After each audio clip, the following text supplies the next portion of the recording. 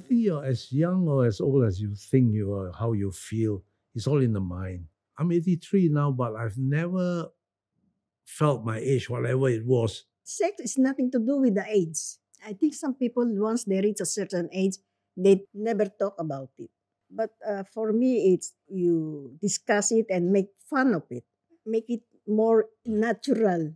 Uh, Mm. because I talk to my friend, and sometimes I always tell them, "Oh my God, you reach that age, it means that you stop doing it." You don't worry about it. You you accept it as a natural thing in life.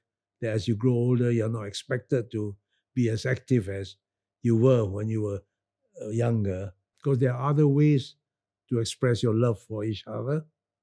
We love each other much more because it grew over the years.